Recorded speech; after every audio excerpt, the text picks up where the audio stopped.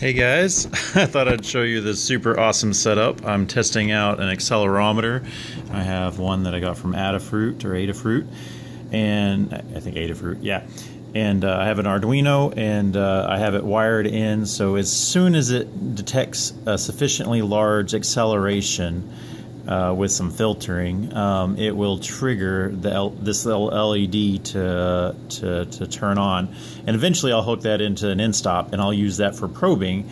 And I'm going to use this to characterize all the, the way this whole machine's put together. For instance, I will swing the arms one way and the other way and wait until it hits and it'll trigger that so it'll know what the range of this main arm is and then I'll do that for the same thing for the small arm.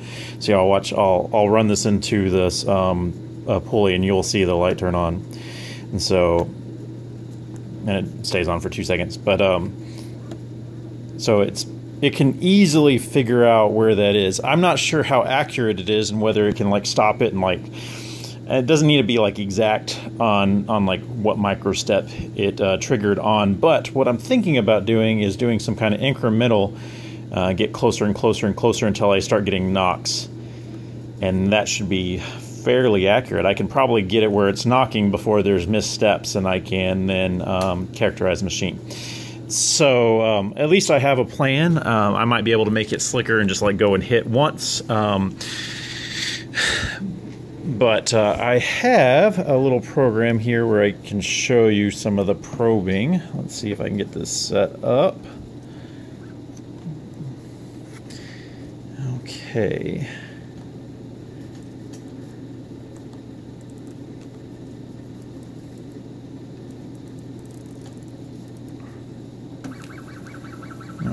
Here we go. Hopefully I'll start hitting and I'll...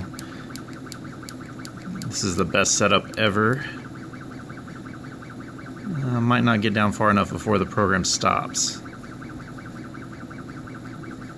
So every time it's getting down 0.1 millimeter farther. So there you saw at the end that it lit up, so it just hit. So um, and that was accurate.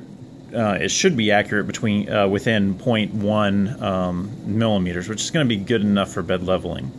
So um, hopefully next time I make a video of this, it will be uh, a little cleaner execution. And on the new machine, I have the the next one pretty much all done design wise, and um, it's probably going to take me a week or two to get that all together. But um, instead of the IR sensor, I'm definitely going to have this little bad boy on there, and I'll have a much smaller Arduino buried in the electronics box.